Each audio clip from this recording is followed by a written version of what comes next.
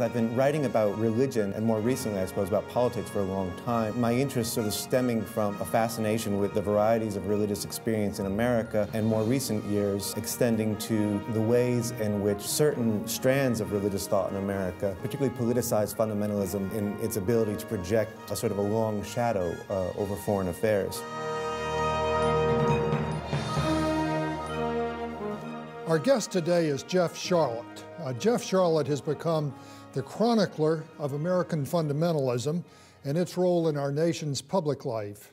Uh, as is the case for many of us, however, his journey has not been straight down the superhighway, but has meandered through city streets and alleys, along country roads, and even through the secret corridors of Washington power. Uh, Jeff Sharlet, now a member of the Dartmouth College faculty and a contributing editor for Harper's and for Rolling Stone, has written, as he says, for a free newspaper that doubled as insulation for the homeless, and has. And he has also edited the only English language glossy magazine of Yiddish culture. For several years, he served as the humanities editor at the Chronicle of Higher Education. But with the turn of the century, he accelerated his pursuit of his current interest, American fundamentalism. He published a long piece in Harper's in 2003 titled Jesus Plus Nothing Undercover Among America's Secret Theocrats, which told the story of Ivanwald, a house uh, in Arlington that hosted the prayer meetings of a number of powerful members of Congress. Then he co authored Killing the Buddha, a heretic's Bible, in 2004, a book that grew out of his explorations, again in his words, of the margins of faith, a cowboy church in Texas, a military pagan coven in Kansas, a Pentecostal exorcism in North Carolina. From 2003 to 2009, he taught at NYU's Center for Religion and Media and continued to explore issues of religion in America. In 2008, he published The Family, The Secret Fundamentalism at the Heart of American Power, and most recently, he has published C Street, The Fundamentalist Threat to American Democracy. Please welcome Jeff Sharlet.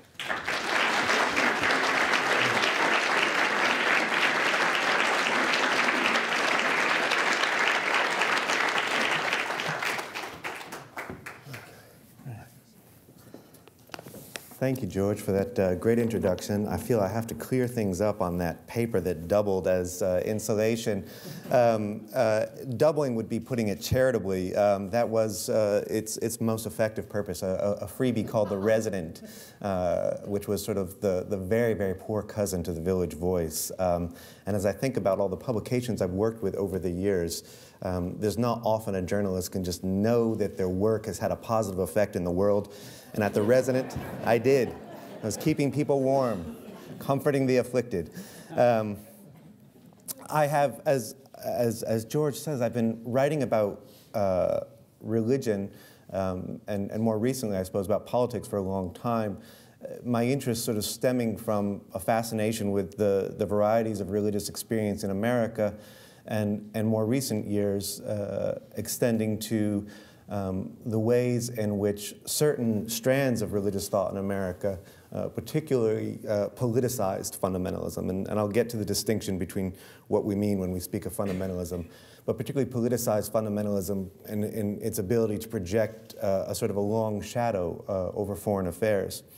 Um, but I think I'm here today, uh, the probably what calls me to your attention um, in some ways, I'm indebted to uh, the work of three, uh, three politicians last summer.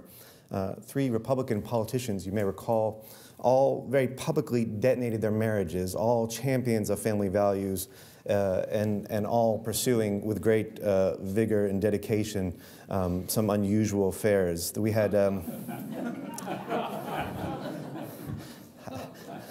I do not mean to disparage them. Well, actually, I, I'll get to that. There's one that I care to disparage, but uh, uh, Senator John Ensign was the first. Remember Senator John Ensign, who was then the fourth ranking Republican.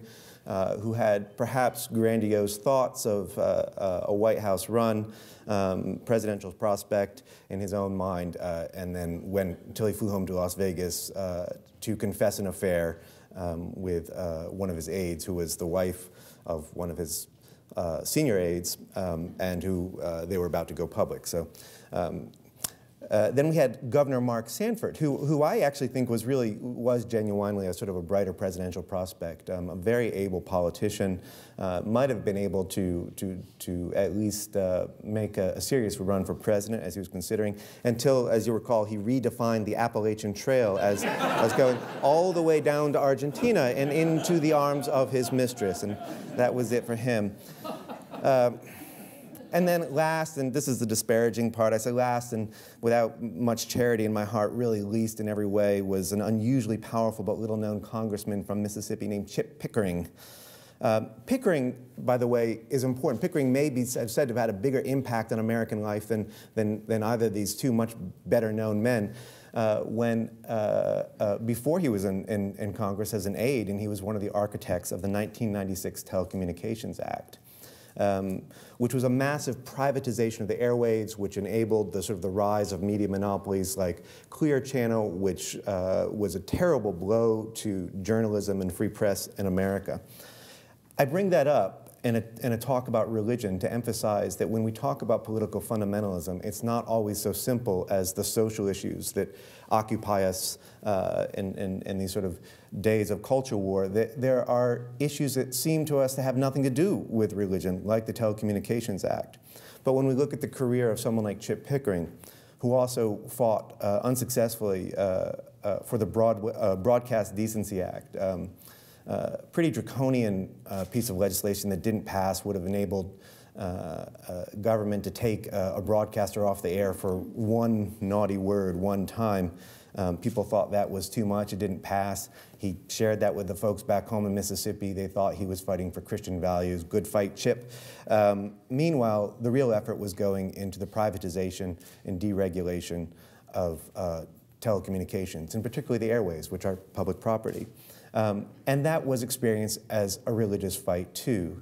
The idea of freeing the invisible hand of the market, which the men I'm going to be talking about today really take rather literally as not just the invisible hand of the market, but the invisible hand of God, that in as much as we attempt to regulate the market, uh, we are interfering um, with the sovereignty of God.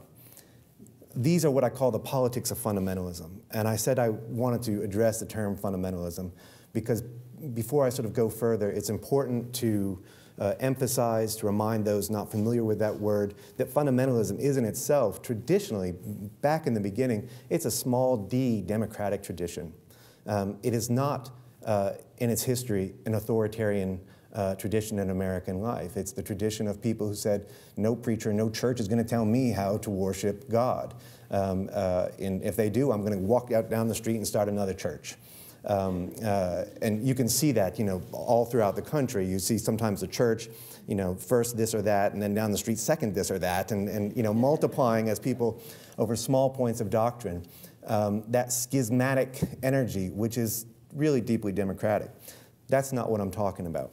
Uh, I'm talking about the politics of fundamentalism, um, the idea that manifests itself um, through a concept of America as a chosen nation um, a new Israel, in the words of uh, one of the men I'll talk about tonight.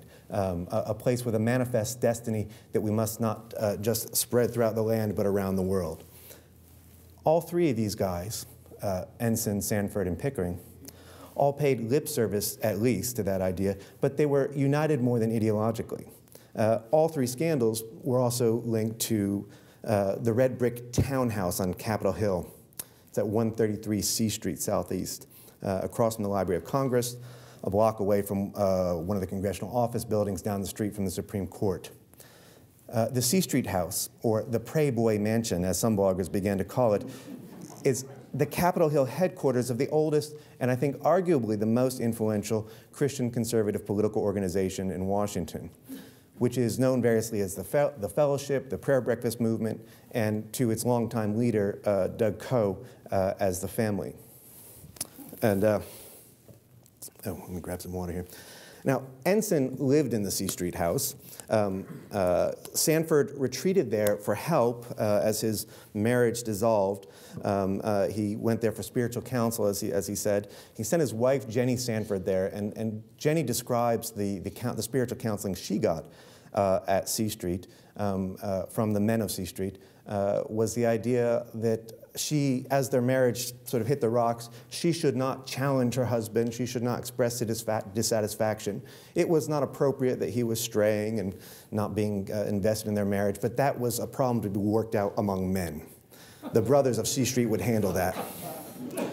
In the meantime, in the meantime, she should not feel left out. She had a responsibility, and I should warn you, there's going to be some vulgarity in today's talk. Um, she was to keep the governor sexually satisfied, because as a leader who had a, a calling, who had a, uh, uh, uh, anointing from God, he had great burdens on him, great responsibilities, and uh, she was to make that burden easier. And they, as she testifies, uh, explicitly uh, advised her not to withhold sex from the governor, no matter what.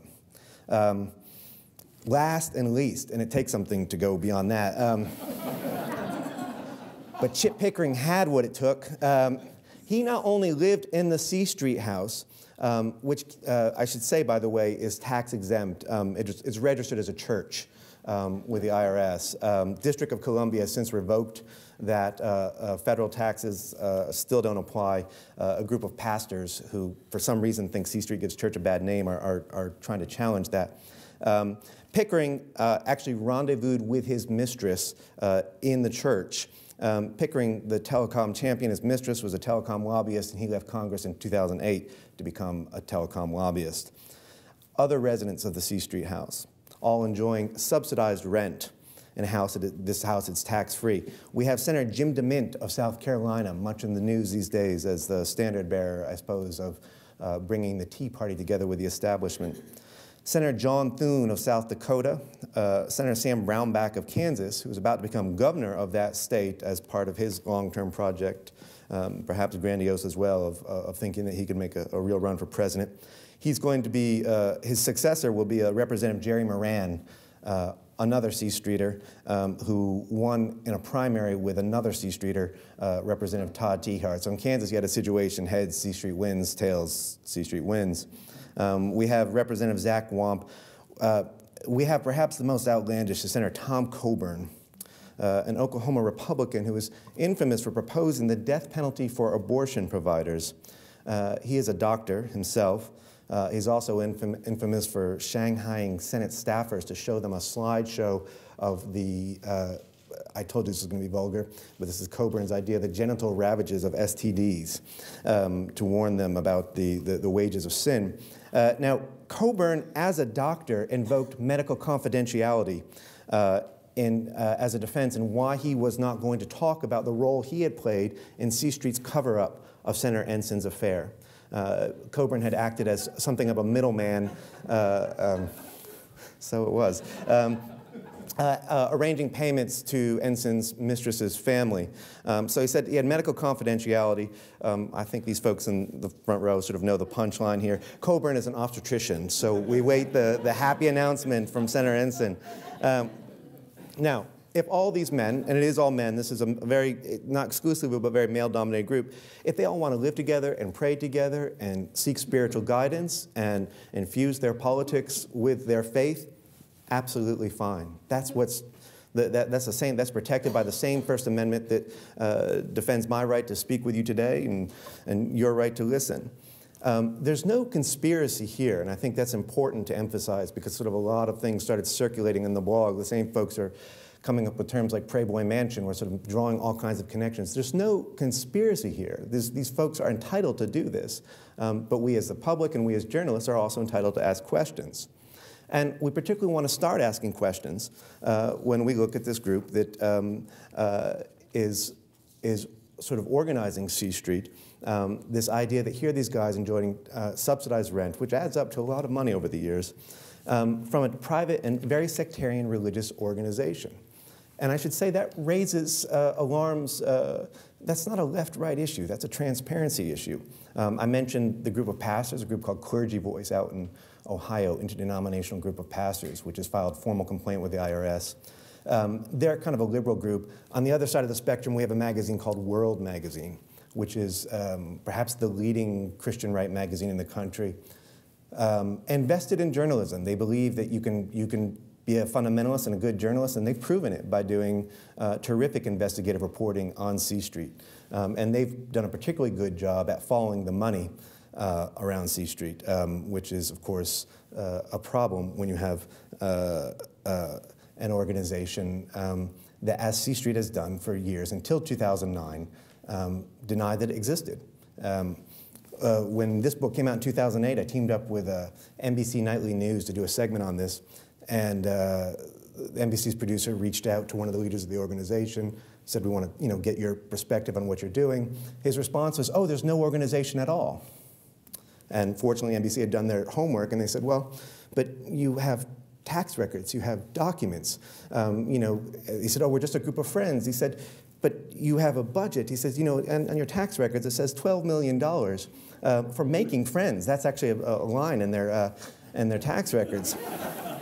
Uh, they need a lot of help. Um, so the question is why, why this, uh, um, this secretiveness? Why this avoidance of publicity?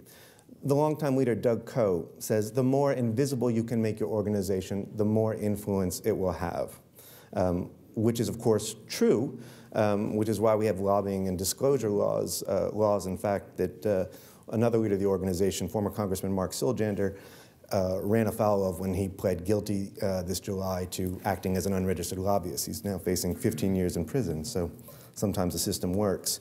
Um, Doug Coe explaining why this is so, wh why he wants to do this, he says, um, uh, he says, they are called upon not to be a broad ministry. This isn't Billy Graham. This isn't the moral majority. Um, but rather, they are called upon to be a ministry for a select few, the elites um, uh, uh, what uh, the founder of the group said when describing where, we, where he saw the world. He says, We are entering the age of minority control, and they're called upon to, uh, to minister to that small minority who controls power and, and make the, help them do the right thing. Um, as, and I'll read from uh, Coe explaining why this is so. He said, Each um, cell, they organize cells, a kind of alarming word. It's not, it's just, it's a uh, they mean, it just means prayer group, but that's the term they've used. Um, uh, each cell should work behind the scenes. It should have no stationary, no publicity. It's important to note that what God is doing in terms of finances is not visible to the casual observer. Um, well, it was actually visible to a World magazine. Um, uh, because evangelicalism was plagued by televangelist scandals in the 80s, it's developed a really terrific system of accountability for its ministries. Um, and you actually have terrific transparency and, uh, much of the evangelical world, and organizations are holding people accountable. Um, and they looked at the finances that are not visible to casual observer, and they said this raises every red flag in the book. Um, but Coe assures you that there's sort of nothing um, nothing too alarming going on. He says, in all cases, the concept remains the same of all these different organizations, all these little nonprofit entities that are, in fact, the same group. What is the concept? The concept, he says, men who are picked by God, men who are picked by God for leadership. So, who does God pick and why? What made God think Mark Sanford was a good idea? doesn't have a better judgment. And here we run into a, the apparent contradiction, which starts taking us out into the world, because I do want to emphasize when we talk about fundamentalism, we so often look at culture wars in America and domestic politics. Um, uh, uh, politicized fundamentalism has long been much more international in perspective, and so do we who are observers of it need to be. Um, the, the group itself, it, you know, this is not creeping theocracy or anything like that. In fact, one fundamentalist critic of the organization calls it the religion of the status quo. They say they're into living with what is.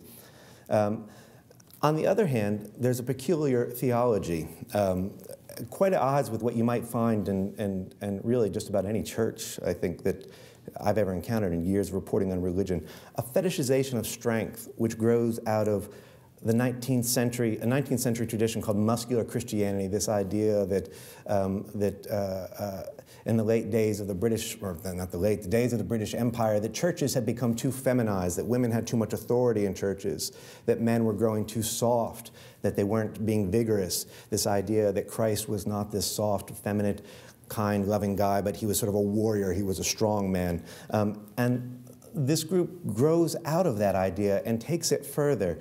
Um, back in its early days in the 1930s, when the founder, looking around the world, sees fascism growing strong, communism growing strong, and concludes that democracy cannot compete, um, that democracy is too weak, that there needs to be uh, a third way, and the third way is his kind of muscular Christianity, which he um, uh, then feeds steroids um, in the sense of uh, one, embracing an idea that he would call totalitarianism for Christ. It's okay if it's for Christ.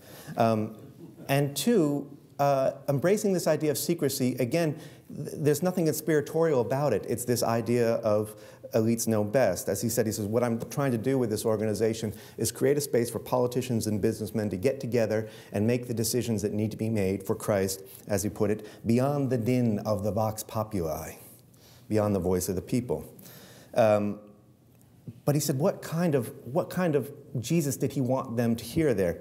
Well, let me share with you some statements from over the years. I spent a lot of years in their archives. They dumped 600 boxes of documents in the Billy Graham Center archives, um, uh, looking, trying to understand who their Jesus was. Um, and uh, I should say, because this stuff will sound a little sensational before I start, so that no one gets the wrong impression, I'm not talking about neo Nazis here. I'm talking about people with a very poor choice of metaphor. Um, here's Coe speaking. Uh, this is actually a, a, sermon you can now hear online. Uh, you say, you, hey, you say, hey, you know, Jesus said you got to put him before mother, father, brother, sister. And that is, of course, a scriptural citation. Here's how Coe interprets it. Hitler, Lenin, Mao, that's what they taught the kids. Mao even had the kids killing their own mother and father, but it wasn't murder, it was for building the new nation, the new kingdom. Again, just to remember, I'm not talking about neo Nazis, I'm talking about the fetishization of strength. I once, um, speaking to some men in the organization, uh, uh, said, You know, I'm, I'm really bothered by this Hitler metaphor. Uh, and they said, No, no, no, no, it's not the ends we admire, it's the means. Um, and in their defense, they seem a little, uh, a, little foggy on what those means were. Here's uh, a leader in the group thanking Coe for Coe had, would often encourage leaders to study the Third Reich, study its right, you know, read the rise and fall. Uh, here's one man thanking him for that sort of course. He says, Doug, what a lesson in vision and perspective. Nazism started with seven guys around a table in the back of an old German beer hall. The world has been shaped so drastically by a few men who want it such and so. How we need this same kind of stuff as a Hitler or a Lenin. That is for Jesus, of course. Um, uh, I sat in on one spiritual counseling session myself with Coe advising Congressman Todd Tiahrt of Kansas, uh, who had been more of a traditional fundamentalist, that he needed to have a more expansive view of Jesus, uh, to think of Jesus as to look at the power uh, modeled by Hitler, Lenin, Ho Chi Minh, and even bin Laden. All terrible men, he says, but what if we could have that same kind of stuff for Jesus? Uh, again, they're not neo Nazis. Uh, they're not certainly not admirers of bin Laden. Um, they are folks who have turned the gospel upside down, you might say, uh, and found a model of, of, power rather than strength. Now, uh, one man, uh, when we did the NBC segment, came forward. They don't like publicity, but he thought this is pretty bad. This looks bad for us. Uh, we'd gotten video of, of Coe advising politicians to form a friendship like that great partnership of Hitler, Goebbels, and Himmler. Look at all they were able to achieve. What if you had that same brotherhood? Um, one man came forward and said, Look, you know, don't misunderstand us. It's just a metaphor. Um, and you just have to ask is there no better metaphor for Jesus than Hitler? Um, is it perhaps time to revisit the seminary? Uh, uh, there are so many other possibilities a lamb or a lion. Why must we turn to these strong men? Coe explains Jesus says, You have to put me before other people and you have to put me before yourself. That was uh, the same idea. This is uh, to give. I, I want to emphasize this because I want to make clear this is not a one-off thing. This is boilerplate. Hitler, that was the demand of the Nazi Party. You have to put the Nazi Party and its objectives in front of your own life and head of other people. I've seen pictures of young men in, in the Red Guard of China. a table laid out like a butcher table. They would bring in this young man's mother and father, lay her head on the table with a basket on the end. He would take an axe and cut her head off. They have to put the purposes of the Red Guard ahead of the mother, father, brother, sister, their own life. Uh, this sermon, by the way, which was to a group of evangelical leaders, some of whom were horrified, um, uh, uh, you can, there is video that you can now find online. You can see the, the sort of the, the, the rhetoric. He's at this point, he's making a fist. He says, that was a covenant, a pledge. That was what Jesus said. If you do not put me before your, your father, your mother, your brother, your sister, you cannot be my disciple. If you're going to have any movement that moves men and movements, you have to have that kind of commitment. Jesus knew that. That's the way the social order is run.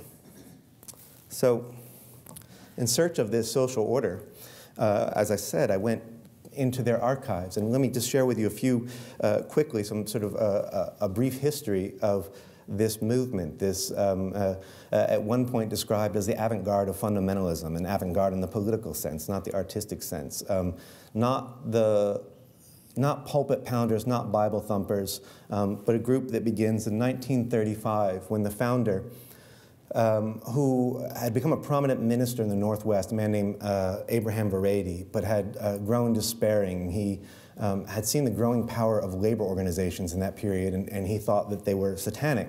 Um, and uh, he thought that the Great Depression was a punishment from God uh, on, on the United States for our attempts to regulate the market. And he thought that the church as it was constituted was too feminized to stand in opposition. And so he prayed for a sign. And one night in April 1935, as he relates it, um, and this became the sort of the founding myth of the organization, God came to him, not a voice, but actually God's presence in his room, and told him that Christianity had in effect been getting it wrong for 2,000 years, focusing on the poor, the suffering, the down and out that God was calling him to instead be a missionary to those whom he would come to call the up and out, the top men, the key men. Um, very next day, he organized 19 leading businessmen. He was in Seattle, and he said, uh, in effect, pretty quickly, anyone have a message from Jesus that God has called uh, them to be uh, put in power? A young lawyer named Arthur Langley says, I, I think I'm hearing that. Um, and uh, he became governor. Um, despite some odds, the Republican Party and the Democratic Party both denounced him as a fascist.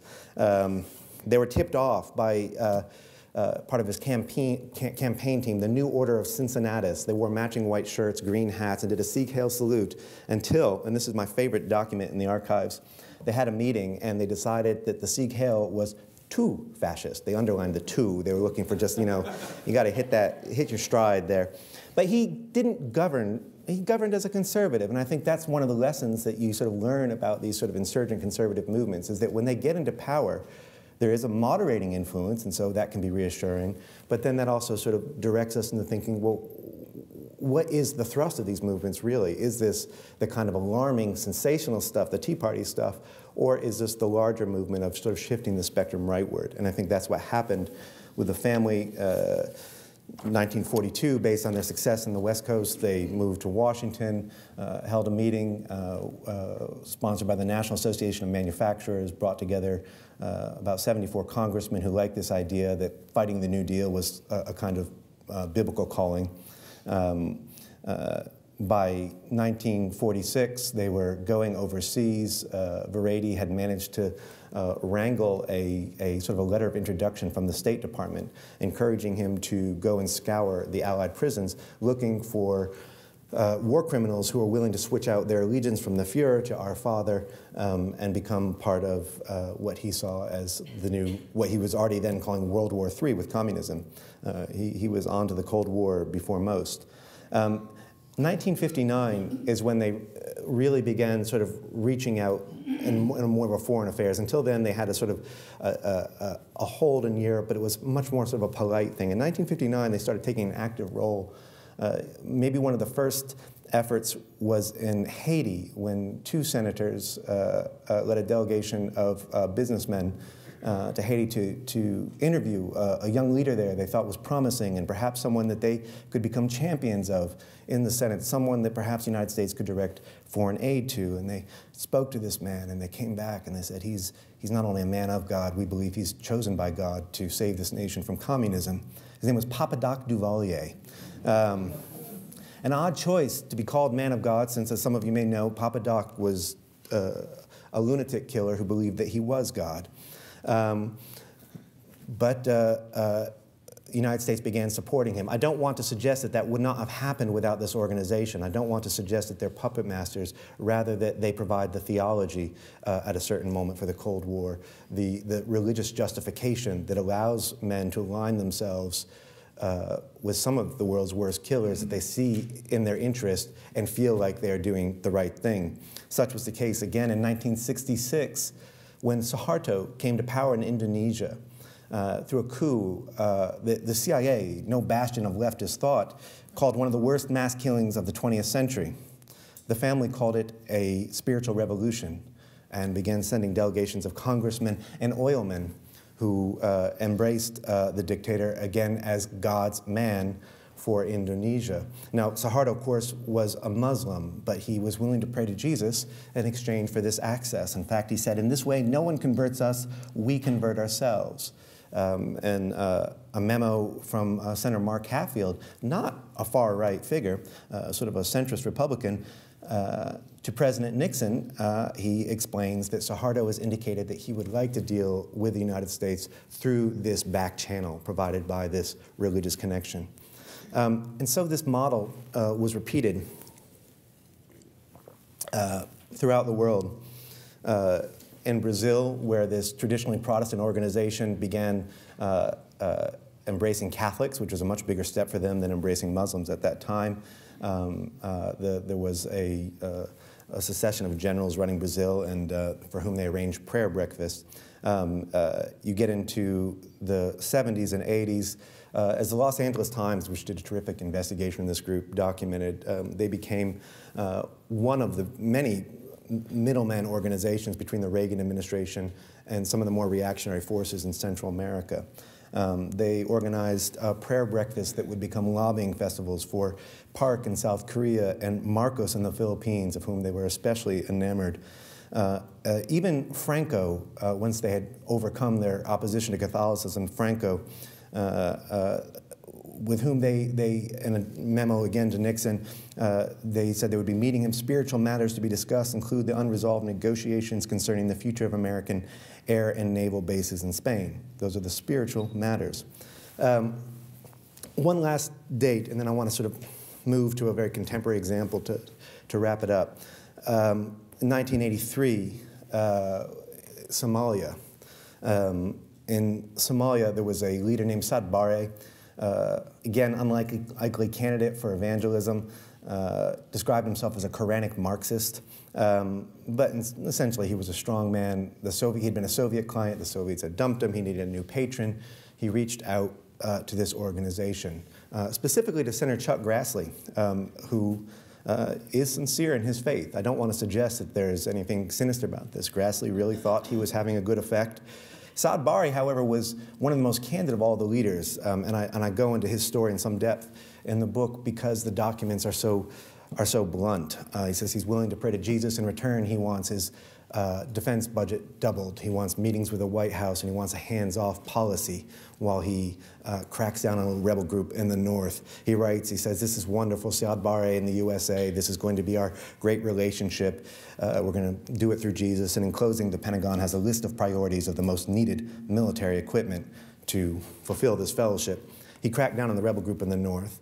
And then he found one in the south, the west, the east, the center. He waged a war of biblical proportions against his own people, from which Somalia has not recovered to this day. So when this book came out in 2008, um, that was a story that was to me the most horrifying. So that was a story I tried to talk about with the media. And it got some attention, not that much. I remember one producer said, What's a Somalia? Um, Africa does not really rate. Um, uh, and then we had something like a miracle. Now, I should say, this book begins with a, period I spent living with the group, and because it's a kind of it's a, a, very watered down Calvinism. Once you're part of the elect, you are always sort of part of the elect. I remain a brother of the family, a bad brother, but I'm a brother. So I like to think that, that John Ensign and Mark Sanford were sitting around and seeing the book wasn't taking off. How can we help Brother Jeff? I, uh, I, I, like to give credit where it's due. My first thanks must go to Mark Sanford, acknowledgement, uh, acknowledgments, John Ensign, and Chip Pickering, who ensured that my last book, The Family, would find a second life in paperback and lead to an opportunity to follow up with this contemporary investigation. I thought about sending them flowers. This book will have to do. Um, in the beginning, I didn't want to write about it. Uh, Ensign announced his affair. Editor said, You want to do a magazine piece? And I said, No, I've said my, my thing on it. Sanford, same thing. It wasn't until Sanford invoked the King David story as a justification for why he was going to stay in office, even though he'd called on Clinton to resign in similar circumstances. He said he was like King David. Now, you remember your Bible stories. King David was not always such a peach. There was moments, uh, for instance, when he seduces Bathsheba and then arranges to have her husband sent to the front lines so he'll be killed and moved out of the way. And yet he's still chosen for leadership. Now, we're talking about the Bible here, not contemporary politics, but Mark Sanford sees no need to draw the line. He says he's like King David. He has been not so much elected as selected by God. Well, that was such a core teaching of the family in my experience. I said, I can't believe someone's publicly invoking this. Uh, I decided to return to it the other thing that brought me back was because this book was doing well, um, uh, I was very lucky. People were coming, instead of having to dig into archives, people were coming to me with, with, with documents. Former members of the association, whistleblowers, uh, uh, sharing with me stories. So I realized that where here I'd written a history, now it was an opportunity to sort of write the contemporary story. What is this group doing in the world? To start with these sex scandals, but to follow the ideas, the money, but also more importantly, the ideas out into the world. For instance, I took Senator Coburn, who played that role in the Ensign scandal. What else has Senator Coburn been doing? Uh, started looking at his travel records. Uh, uh, discovered that he had been going to Lebanon um, representing the family. Been going to Lebanon on the family's dime. They spent a lot of money subsidizing foreign travel for congressmen, and also on your dime. Sometimes he would travel, his, uh, charge his missionary trips to the United States where so I reached out to the Lebanese politicians he was speaking with, um, and I discovered something kind of remarkable. I said, "What did Senator Coburn share with you?" He was there uh, last spring, in, uh, uh or spring of 2009. Arrived at around the same time, by the way, a big shipment of U.S. tanks as part of our 410 million dollar military aid uh, uh, program for that tinderbox of a country, divided so so precariously between Christians and and Muslims. Uh, uh, he went there to explain to them, um, uh, here is a US Senator, um, that he has a solution for the Middle East conflict. And he would like these, uh, these Muslim politicians to embrace it. The solution is Jesus. Here is a man who is essentially hijacking US foreign policy, going, and in their eyes, as a representative of US foreign policy. He told them that he forgives Muslims because they're not all bad, and then he wants them to reconcile uh, with Israel through Jesus. Uh, a number of politicians uh, and, that I spoke with uh, found this uh, a good idea for politicians and businessmen. Samir Cradie, very big, uh, powerful businessman there, said, I, I, embrace this idea. I've worked with a family. Uh, they helped me get contracts from around the world. I've learned the gospel approach to business 85% profit for you, 15% for the poor. Um, and they started calling themselves in private Messianic Muslims. This is uh, like Jews for Jesus. It's got to have alliteration Messianic Muslims, Jews for Jesus. Um, uh, and they were encouraged to keep calling themselves Muslims in politics, and they still do. I think of Misbah Ahdab, a very uh, influential member of parliament there. Um, when talking to Americans, he says, I've become a follower of Jesus. When talking to his public, he says, I'm a Muslim. Um, and that's how he's elected. It's dishonest politics. The man who came up with this idea, former Congressman Mark Siljander, who I mentioned before, pled guilty. Uh, his, his, one of his areas of focus was the Sudan. He went over to meet with Omar al Bashir, the first sitting head of state indicted for genocide. Um, uh, Bashir, uh, ostensibly a Muslim, read Siljander right and said, Yeah, let's pray to Jesus together. As Siljander testified when he came back and started talking about this on Christian right television and radio, he said, Bashir just melted my heart melted my heart. And he says, You know, I realized that we need to love this brother. And we need to love this brother by doing business with this brother. We can't have sanctions on this oil rich nation. Yes, I know there was that trouble in Darfur. Things got out of hand there. But Siljander wants to love, or, or Bashir wants to love Jesus. And he became uh, an advocate against sanctions until the US government discovered that he was being uh, paid illegally by a Sudan Khartoum based organization um, that was funneling the money through the family's nonprofit uh, organizations. Uh, just last week, the family finally had the headline that they no organization wants to have. Organizer of National Prayer Breakfast receives funds from alleged terrorist organization. Um, it doesn't, it's just not what you want in a campaign season. Um, and, and, one more example is, is, Jim Inhofe from Oklahoma. Um, I have a soft spot for Jim Inhofe. Uh, he does not for me, but I have a soft spot in my heart for Jim Inhofe because he's so candid about what he does. Uh, at a time when last year, when congressmen were rushing forward to say, oh, C Street is just a place, it's a personal, spiritual place. He says, I don't know what you're talking about. I hold political meetings there. When we started looking at the foreign travel and they're saying, oh, we're just going overseas uh, on friendship missions. He says, not me. He says, I'm going to promote the political philosophy of Jesus as taught to me by Doug Coe.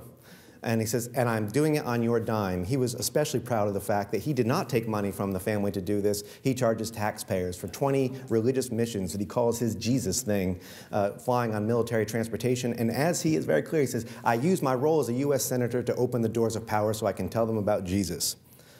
That's hijacking uh, U.S. foreign policy. One of the places that he has adopted, as he puts it, um, adopted is uh, Uganda. And I want to close with Uganda because it's something that's happening right now. And I think it gives us a case study of the long shadow of American fundamentalism, the danger of unintended consequences, um, and the real risk we have and, and, and blurring so radically these lines between church and state. Uh, in Uganda, uh, where the family's been involved with the current regime, that of a guy named uh, Museveni, since he came to power in 1986 uh, a country to which the United States gives billions in, in foreign aid, very important country for us, uh, essentially our proxy in the region. Uh, in Uganda, one of Inhofe's proteges, a man named David Bahati, member of parliament, um, who in fact first studied politics here in the United States in Arlington, uh, came to study with a conservative group called the Leadership Institute and made contact with a family like that idea when he went back to Uganda discovered that the family had fostered a, a, a Ugandan C Street, as it were, a, a group of uh, members of parliament who would get together and think about how they could create a leadership led by God for their nation. Um, the idea that Bahati came up with was something called the anti-homosexuality bill. Um, uh, in short, uh, it's the most draconian anti-gay bill in the world, death penalty uh, for serial offenders. If you have uh, gay sex more than once, life imprisonment uh, for one time, seven years in prison for promotion, which is what I'm doing here. And I went to Uganda, and uh, Bahati is very candid with me, says I'll be imprisoned if I go back, but until then we're friends, he says. Um, and three years in prison, if you're sitting there, and perhaps you are opposed to homosexuality yourself, um, but three years in prison, if you know a gay person, a neighbor, a coworker, a friend, a relative, and you fail to report that person within 24 hours, three years in prison. This is justified because they have reached the conclusion that homosexuality is a form of genocide against Africa. Um, they believe it is a conspiracy being launched against Africa by the decadent West. They are encouraged in these beliefs by the thoughts of Senator Inhofe and Senator Coburn, Coburn, who has described homosexuality as one of the biggest threats to American democracy. Uh, Inhofe who is famous uh, or infamous for going on the Senate floor with a perplexing, uh, perplexing display of a, a, picture of his extended family, and he wanted everybody to see that there was no homosexuals in, in his extended family. I'm not sure how we could see that, but he wanted us to know. Says he doesn't hire gay people because it's a uh, conflict of interest, although I'm told that there's, um, he, he may not be fully informed on that matter. Um, uh, so I went to Uganda uh, and I wanted to talk to this, this David Bahati and talk to him about, at the time, he was being invited to the National Prayer Breakfast. This was sort of a scandal. This year was the first time there was protests at the National Prayer Breakfast, this seemingly ecumenical event actually organized by this sectarian group uh, every year. Um, uh, and I think nobody really sort of realizes who's, who's footing the bill for this thing. Um, uh, and, you know, when someone has genocide in the mind and invites you over for lunch, you should go because it's bound to be an interesting lunch. Um, you know, unless lunch is you. Um, and so I went over, and, and I have to say, in a really terrifying way that I don't think necessarily speaks well of me, we really hit it off. Um, uh, and I spent a lot of time talking with him, but in closing, I want to actually share something from the other side of the story. Now, I want to say, and this is important, Inhofe even has denounced this bill. He says, this goes too far, this isn't what I meant. Um, uh, some of the Americans have been very uh, involved, have been outspoken. That is, after public pressure ramped up. At first, they wouldn't give any comment on it. Senator Sam Brownback still won't denounce it. Um, uh, uh Bahati claims some Americans are, are, still telling them to support him. Inhofe has been a frequent guest over there, John Ashcroft, uh, talking about these moral issues. But we do make the distinction. The American family says, hey, this isn't fair. We didn't, this isn't what we meant to happen. We didn't pull the trigger in Uganda. We didn't kill anybody. And I agree, that's absolutely correct. My argument is that they did not pull the trigger, they built the gun. They built the gun, uh, a weaponized idea of Christianity, an idea of a leadership led by God that discards all the most wonderful, loving, and small d democratic traditions of the faith and put it on the table in Uganda and walked away. Uh, when, when David Bahati picked it up. I want to close by showing what's at stake for some of these people, and I should warn you, uh, this is vulgar. Uh, this is about a person named Victor Mukasa, who is a trans man, born female, living male. Some of you may find that something that you're opposed to, uh, but I hope you will fall with me and uh, and being dismayed at what happened to Victor Mukasa, born Juliet Mukasa. As a child, Juliet Mukasa knew she was attracted to children of the same sex. She had been raised Catholic but had joined an American style Pentecostal church, hoping that in the music and the dancing and the Holy Ghost, the ecstasy, she would find the resolution of her desires. But Juliet Mukasa was not, as, not skilled at leading two lives. She dressed as Victor. She couldn't think dressed like a girl. A pastor determined that she was possessed by a male spirit and asked his flock to help him heal her. I should say, by the way, that uh, in all my interviews, before about 1998 in Uganda, homosexuality was not an issue. Very conservative society, it was taboo, but it was no activist thing. Starting about 2003, a huge influx of American pastors talking about culture war, telling these churches you must address this as the big threat to your country. The exorcism took place at the altar in front of a thousand Christians, boys and men from the church's healing ministry, laying on hands and speaking in tongues as women in the pews swayed and sang for Mukasa's liberation, as the pastor called it, her freedom. They took her arms, gently, then firmly, and then they held her and stripped her.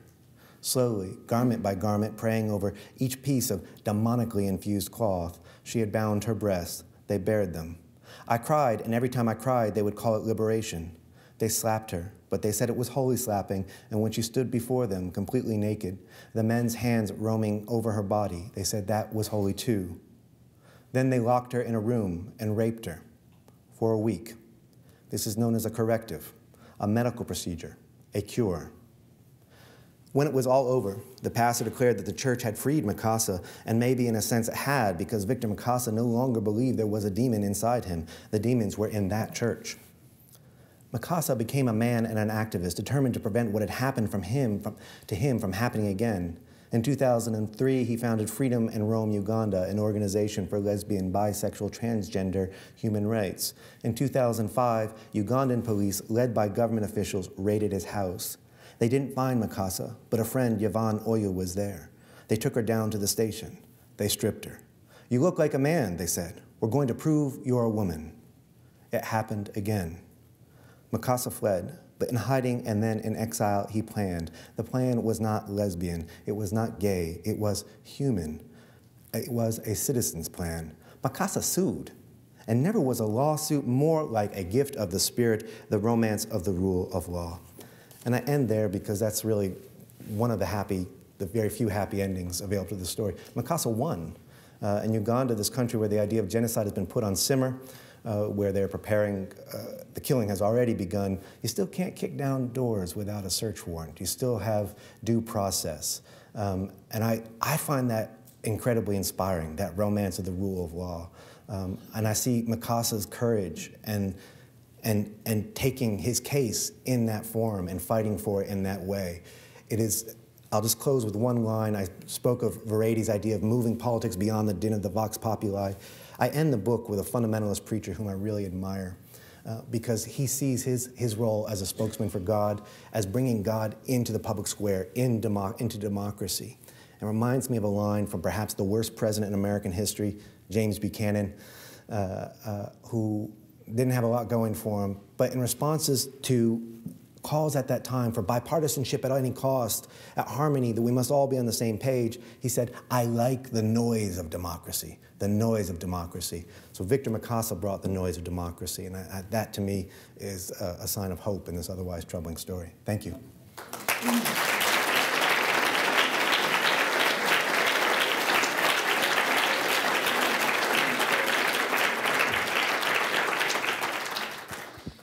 Jeff, let me let me start off by going back a little bit in, in American history and suggesting that there are there are two streams that may or may not be coming together. One is the, the stream of American exceptionalism that we trace back to Jefferson's uh, uh, purchase of, of uh, Louisiana, uh, later Manifest Destiny, this notion that Americans are a chosen people who need to extend democracy across the continent. Uh, those voices uh, for many years stopped at the ocean shores and didn't think uh, on any regular, sustained basis about making the whole world democratic. Um, there's been another strain uh, that even though America is a Christian nation, uh, majority Christian nation, it's also largely been tolerant of, of other views and uh, has permitted free expressions of, of all kinds of religion.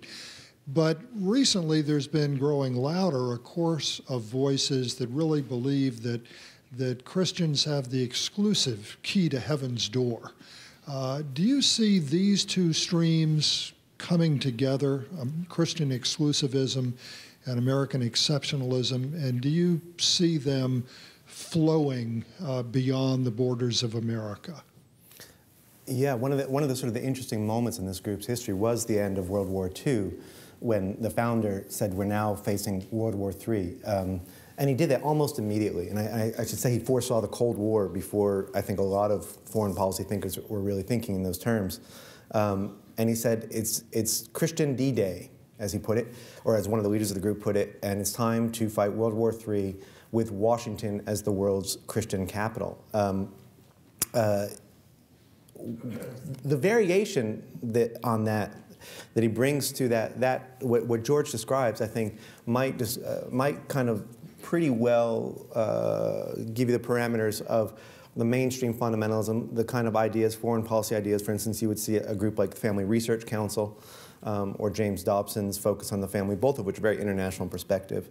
Um, the main variation that this, this movement brought to it um, was a simultaneous sort of expansion, a very expansionist idea, but also a real malleability that in fact leads it into conflict with traditional fundamentalists. This idea that you can have Muslim followers of Jesus, uh, Jewish followers of Jesus. They'll welcome anybody who is powerful. They say, we work with power where we can, build new power where we can't. And that's a real theological uh, step beyond even that, that convergence you describe. Uh, one of the leaders of the group in describing to me why they made this choice, I said, we don't mean to be offensive or you know, imperialist on other people's face. He said, we just use Jesus because he's at the center of every religion. You know, you learn that in Religious Studies 101. And he actually went on. This, I, am not going to name names. This was a, a person who was uh, uh, well placed in two presidential administrations, someone who really should have known better. He said, Jesus is central to Christianity. That's true. Uh, Jesus is central to Islam not so much. Um, Jesus does appear in the Quran 110 times, as these guys are fond of, of, of, saying people. He is not, but the Quran is not about Jesus as they claim. But the one that got me was it says, and Jesus is central to Judaism. And I said, how do you figure? Uh, and he said, because you know how he comes at the end? and I said, no, no, it actually, it kind of cuts off before that. And he says, but Jews revere Jesus, right?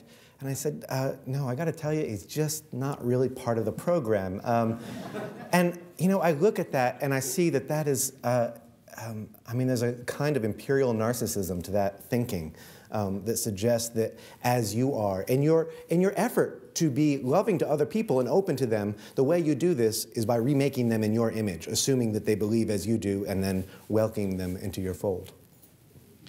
Yes, um, I, I, decided in coming here I was not going to ask a question. But your lecture is so interesting. I had a very short anecdote and a very brief question. One, I was in Port au Prince when Papa Doc gave the authority to Baby Doc And Eisenhower did not go to Baby Doc's inauguration, but in the harbor were two ships with tanks, machine guns for Baby Doc from the United States. Now, the question are you familiar with the research currently that they're doing about how does a flock of birds or a school of fish change directions? The, you look at them and they all go together. How do a thousand birds go one direction or a thousand fish change directions in a split second? And they did research to find out. Are you familiar with that research? I, am not, no. Well, they found out that 5% of the group uh, simultaneously changed directions with almost unconscious leadership. I was wondering, the question is, where are we in terms of political uh, science or political psychology or political sociology in changing the direction of, of uh, Thomas Jefferson towards fascism and the worship of power? Well, I should say I, I, I don't see this group as fascist. Um, uh, you know, there's a chapter dedicated to this, this question in this book, the F word. Um, uh, and I think you know the reality is this group isn't fascist. They don't uh, they fetishize strength, but they don't fetishize violence, and that's a key ingredient of, of fascism. Um, I think the more accurate description is uh, is uh, fundamentalist activist in Capitol Hill named Reverend Rob Schenck, who's he's sort of like a, a B-list version of these guys, and he really envies them. Um, and he speaks candidly and insightfully because of that. Um, uh, but his criticism, as I said, is that this is the religion of the status quo. They're into living with what is. And I think that's actually a much more revealing uh, way of thinking about the influence of this kind of conservatism. When we think about you know, what's coming, you know, the sort of the Margaret Atwood dystopian tale, we lose track of um, the very small steps by which um, uh, political change often happens. Um, you know, just one small example. Uh, uh, one of the, the, this group is mostly Republican, but there's always Democrats involved as well. Uh, Representative Bart Stupak, uh, uh, sort of conservative Democrat from Michigan, longtime C Streeter, teamed up with another longtime member of the group named Representative Joe Pitts. Uh, last year to, to pursue something called the Stupak-Pitts Amendment, which was a anti-abortion amendment to health care. And as most of you probably recall, nearly scuttled the whole deal and certainly made what we ended up with much weaker than it might have otherwise been. He didn't get his amendment passed, but when you go and you look at the, the pro-choice groups, um, what they've been monitoring is what they call the Stupacking of the states. Uh, the state by state, the same goals that he was trying to achieve uh, are being implemented. Um, now, you may be opposed to abortion, and this may sound like good news to you. Um, there's a you might want to question uh, how democratic is this? Um, uh, this is sort of, uh, when something's happening, people don't even realize it's happening as a problem. Um, but that, that I see, that's already happened. So when we go and monitor this, for instance, reproductive rights now are, uh, have been rolled back to a weaker place than they uh, have been since Roe v. Wade. That's already happened. This is not something that's coming, it's something that's here. We want to think about those changes. So to say how far that is from Thomas Jefferson, boy, that's a that's a that's a long history that I couldn't speak to. But I think um, I would I would urge us to look for these small steps, to look for these little things like supporting Papa Doc, not being the single deciding factor, but being an influential factor. Um, and I think that's much more the way we get the sense of of, of how that political transformation takes place until you get a big wave like, like we might have this year in 2010 and then of course things can move much quicker. Yeah. Uh, the study on fish and uh, birds was very interesting, but I thought you might like to know there's one on deer that says the opposite. The herd moves democratically. All right, good, uh, good news from the animal world. Uh, my question is, is this, you said that uh, one of the leaders said uh, the more secret the organization, the more the influence. But you also said it, it's not conspiracy. It sounds a bit like conspiracy to me. I really reject the term conspiracy, one, because of course it's a legal term. Uh, it, it, perhaps applies to Mark Siljander, who actually pled out to avoid charges of conspiracy. Um, but the people with whom he was working, who were paying him, did plead guilty to conspiracy. So in that very limited instance, you can talk about that. But conspiracy isn't a useful term. It doesn't, you know, what we're talking about is social movements. And I think uh, often people are tempted to look at political transformations not to their liking as a result of conspiracies. And this is the idea that really everybody thinks like I do, I have a common sense, but a few bad guys, maybe it's the Koch brothers, maybe it's Doug Coe or something, are, are, are changing things in an unfair way. And I think, oh, someone have a, an alarm down here? Um, thank you. Um, uh, I think we still have an alarm going off. Maybe we could. Uh, um, uh, it's Doug Coe calling. Um, uh, um, he's monitoring everything. Um, uh, I, I, I, and I, and I, think this has sort of been this has been a, a, an argument that I've been in for a long time, and it's it's sometimes kind of frustrating actually. The Boston Globe uh, just ran a review of the book, and it had some good things, some bad things. And they said Jeff Sharlet, headline: Jeff Sharlet sees conspiracy. So I had to send them a correction. I says, here's the you know whatever ten places in the book where I say explicitly this is not a conspiracy. This is why conspiracy as a term is not a useful term for understanding political and social transformation. So I got a nice correction, which is you don't often get in book reviews where they said due to a reporting error, our total characterization of the book was wrong. Um, every author longs, every author would like a correction like that for book reviews. But um, uh, that's why I think I, it's, you know, that you are entitled to be secretive, by the way. That's not illegal. You, they can do what they're doing. When someone like Siljander runs afoul of the law, that's a problem.